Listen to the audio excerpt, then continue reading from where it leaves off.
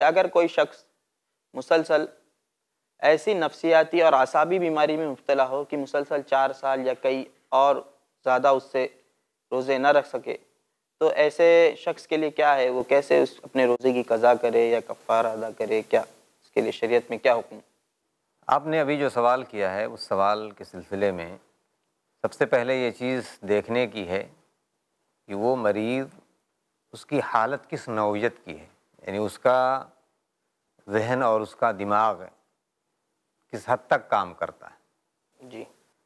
अगर वो मामूली कोई चीज़ है और वो रमज़ान को जानता है रोज़े की अहमियत को समझता है और उसके जो अहकाम हैं उन्हें भी समझता है कि इन अवकात में खानी चाहिए कोई चीज़ कोई चीज़ पीनी नहीं चाहिए जो चीज़ें मना है उनसे दूर रहना चाहिए।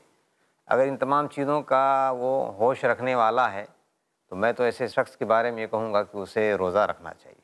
लेकिन अगर उसकी हालत इससे और दिगरगू है रमज़ान के रोज़े के बारे में उसे ख़बर नहीं है उसके अहकाम के बारे में वो नहीं जानता है तो उसे चाहिए कि वो रोज़ा ना रखे या जो उसके ज़िम्मेदारान हैं सरपरस्त हैं उसे उसे रोज़ा रखने पर मना करें। क्योंकि अल्लाह के नबी वसल्लम की हदीस है कि जो लोग मरफ़ूल कलम हों यानी गोया कि उनकी जो गलतियाँ हैं और उनके जो दीगर आमाल हैं इस्लाम में वो शुमार नहीं हैं।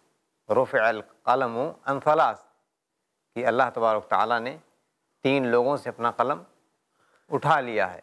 उन्हीं में से वानिल मजनून हत्ता यफ़ीक है। मजनू पागल आदमी मजनू से मुराद वो आदमी जिसको नफसियाती बीमारी में मुबतला हो जो समझ ना पाता हो तो उस आदमी से अल्लाह तबारक ताली ने कलम उठा लिया है यानी उसकी ना अच्छाइयाँ लिखी जाएँगी और ना ही उसकी बुराइयाँ लिखी जाएँगी। तो गोया कि वो आदमी मुकल्लफ नहीं है इस वजह से उसे रोज़ा नहीं रखना चाहिए। जजाकम्ला खैरा।